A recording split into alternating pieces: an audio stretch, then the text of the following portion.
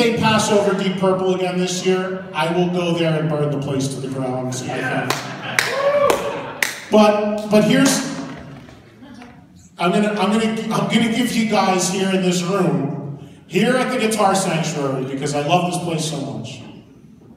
I'm gonna give you exclusive breaking news that nobody knows and that I have not spoken a word about to anybody ever.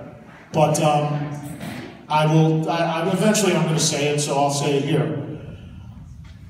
Two days ago, ever since I've been screaming about the Rock and Roll Hall of Fame for 20 years, they have been taking notice of my rants. Let's just say.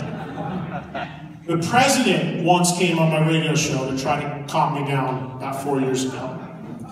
And I said, I'm not calming down until you guys get it right. You need people in there to who care about real hard rock music to have a vote, have a voice, and have a say. So two days ago, uh, I get a phone call from the Rock and Roll Hall of Fame because they have decided that they want to make me a voting member.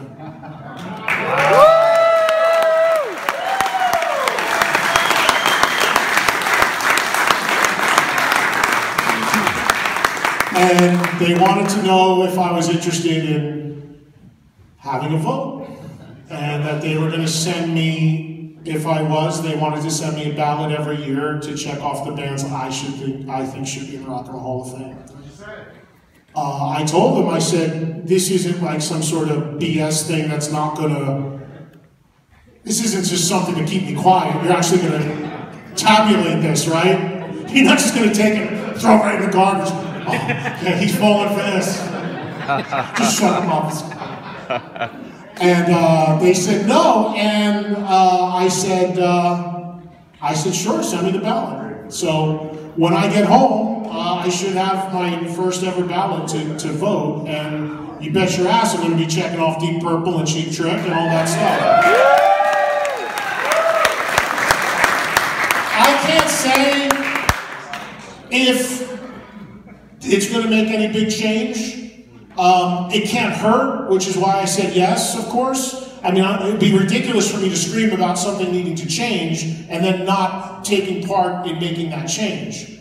And you know, I got to tell you, a guy, a guy behind the scenes who is really pushed for a lot of these rock bands, who has had a vote for a long time, and suggested me, along with some other friends, for the to be on the voting uh, panel, is Tom Morello.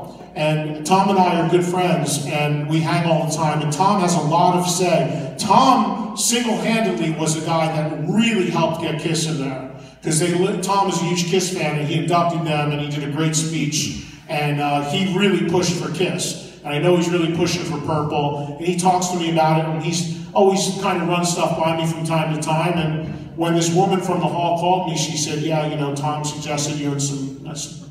Send the ballot. So um, again, I'm not here to tell you that just because this is going to happen, all of a sudden UFO is going to show up on it. you know, but at least the bands they are picking, at least there's going to be one vote for the good guys extra, and hopefully it'll it'll help get some more of these guys in. So. Um, we should move along, right? Because we got a band coming up, so we want. We should.